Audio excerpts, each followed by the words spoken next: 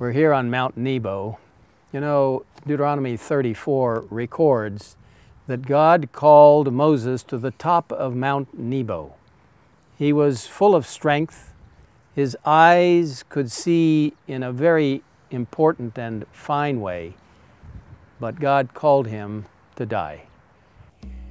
From this mountain, you can see into the distance, you can see the desert where Moses and the children of Israel wandered for 40 years.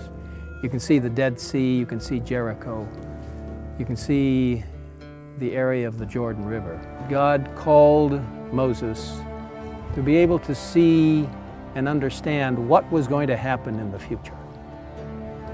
You see, had Moses not sinned, that one sin, which took glory to himself when he was commanding the water to come out of the rock.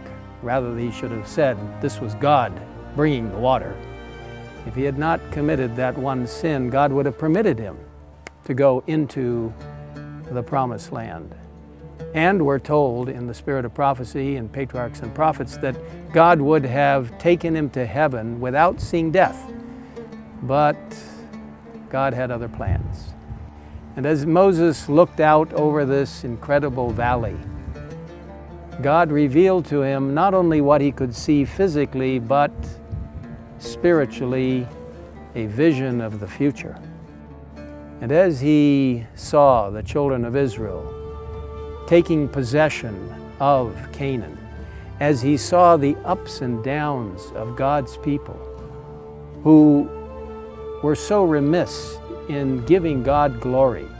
And so God would allow trouble and difficulty to come upon them. And he saw this in generation after generation until finally he even saw the time of the Roman occupation.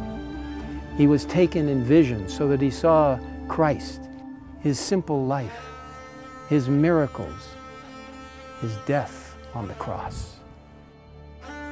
Moses saw his last understanding of what this world was all about. Many times when we expect certain things, God has other plans.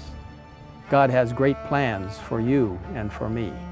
Just as he had plans for Moses because not long after he raised him from the dead and took him to heaven as a symbol of those who die firmly in Jesus Christ and then are raised to life everlasting.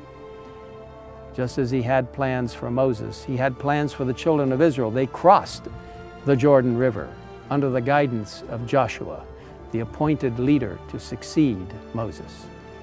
And God has plans for you and for me. Figuratively, he wants to lead us across the Jordan River into the Promised Land.